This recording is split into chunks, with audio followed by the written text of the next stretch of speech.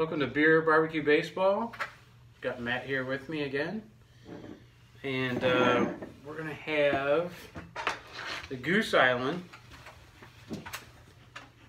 uh, Belgian Style Pale Ale 2016. It's the Matilda. So, our good friend Eric gave us this. So, thank you, Eric. We're going to give it a try tonight. That's the old style Goose Island, right? The old style tab. I don't think they have the caps like that anymore, do I don't think so. So, So 2016, when did uh, AB InBev buy them? This might be prior. mm, yeah, I'm not sure. Oh, it's ready for an explosion. Oh, there you go. Everything else we've opened tonight has exploded. I see some water vapors, otherwise known as smoke, coming out of the bottle.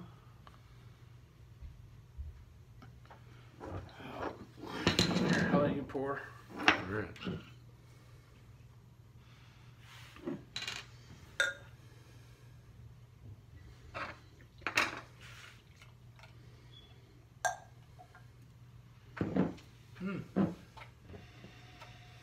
Smells definitely citrus, lemony, which is very pleasant to me.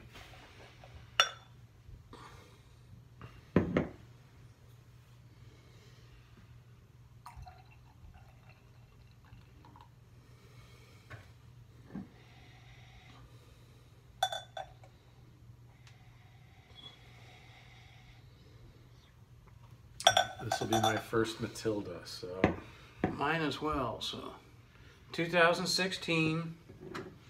would it say a pale Belgian? So there's, Yeah, uh, Belgian Pale Ale. there's a lot of variety. I'm getting a farmhouse smell, which makes sense because it's got, and I'm going to butcher the name of this yeast, but it's got the Brettanomyces uh, matured with that yeast, which is one of those wild strains you see in a farmhouse sometimes. This one smells real good. Did you try it yet? No, I didn't.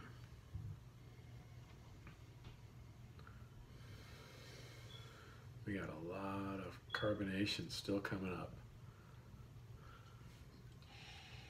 It's a good color. I never would have guessed that this was a pale ale, though. Even no, it says Belgian style pale ale. Nice color. Leaves some good lacing.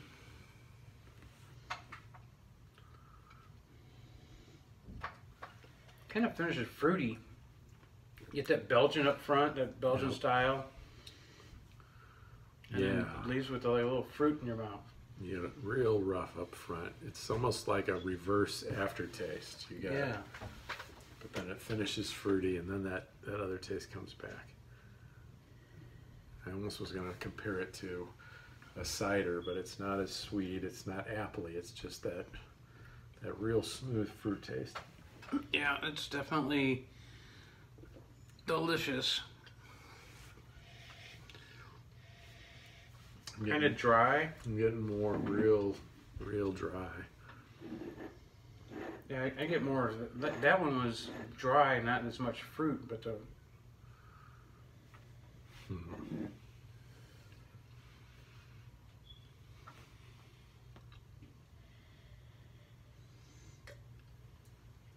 It's starting to build on me.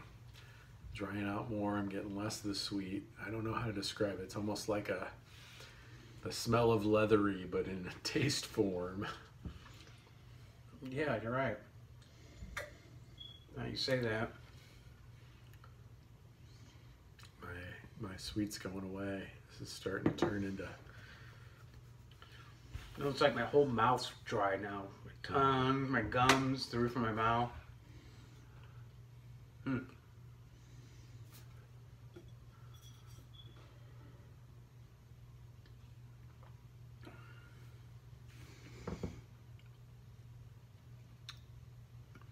You see that's like an apricot color or? Yeah, that's a nice color. All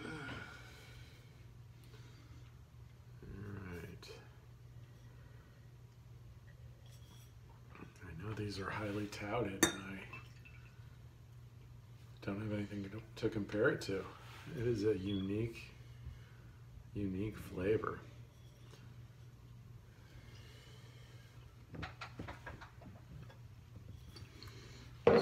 Overwhelmingly dry. The more I'm drinking, it's building.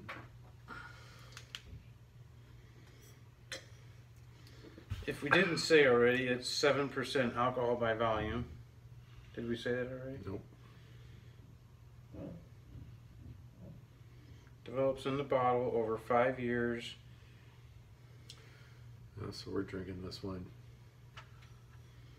Oh. Just about three. so- The yeah, bottled on December twentieth, two thousand sixteen. So again, Goose Island, Matilda, two thousand sixteen. So if anybody's going to comment that I've had these, I'd like to know if anybody's done a same year tasting aged differently.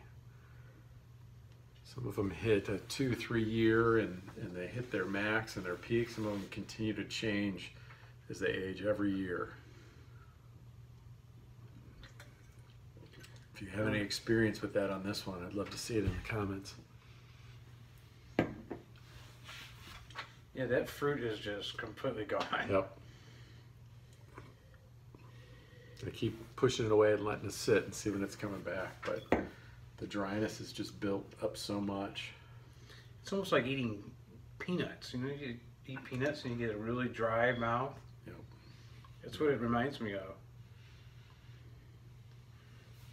So, Yeah, it went from being a sweet citrus, dried apricot to now I'm tasting a. It's like a fruit was smoked for 12 hours. The smoky flavor is all that's left, none of the sweet. I'm trying to come up with the words that.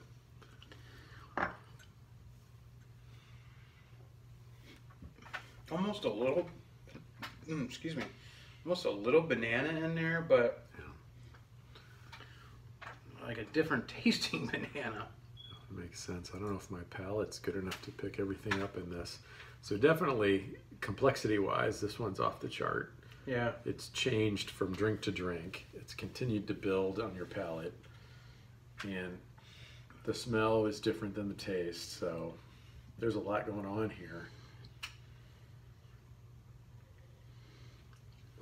Definitely not something I, you know, polish off a six pack by the pool. so yeah. I think I think one's probably good enough for you know a while. It's, it is very, it is very complex. That's for sure. I'm getting banana more and more though. and you've you've had more than me. It keeps changing the more I drink. I wonder if mine's going to turn into banana here. As far as taste,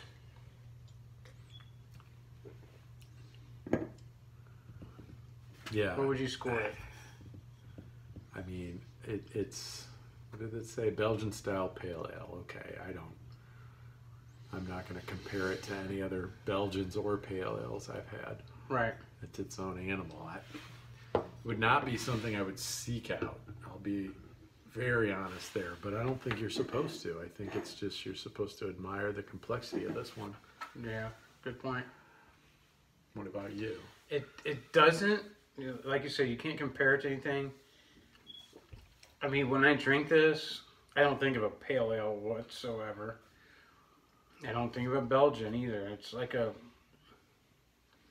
I get. Uh, it reminds me more of a Belgian style beer than a pale ale. I don't get a whole lot of pale ale on it, but maybe that's that's why it's drying so much now because it's more of the pale ale characteristics coming out in it. But Yeah.